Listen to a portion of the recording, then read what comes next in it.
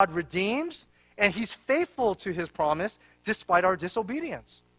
Right? So we see this in Abraham that, that sometimes, you know, it, it's like, oh man, I messed up. Oh man, I messed up. So you know what? Forget it. Forget it. You know, ministry's not going to happen. Are you serious? Uh, let me tell you about how God um, convicted me this week.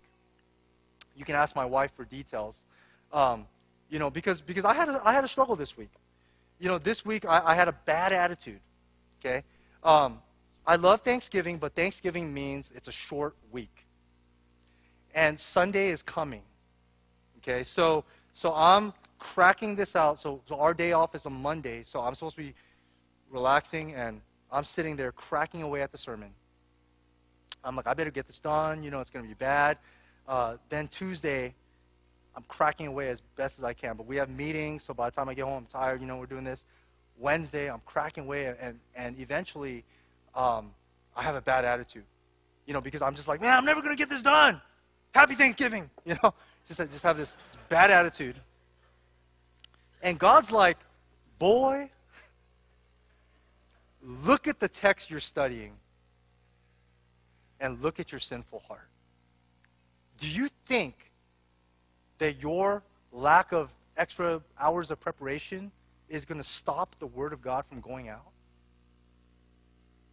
Do you think, and, and I'm like, well, well, and then I'm all beat up because I'm like, God, look, I had a bad attitude. Now I, I can't even get up and preach. And Terrence is on vacation. And you know, I'm about to call Sacramento. Hey, John, are you on vacation? You want to come back now and preach?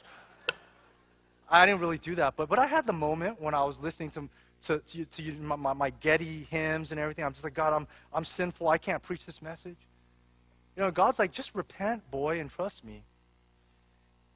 And so at the end of the day, God reminds us that, that we struggle, we mess up, you know, but just because we can't be perfect, and we'll never be perfect, just because we don't put in as much effort as we can, doesn't mean that God's word is not going to go out and God's ministry is not going to get done.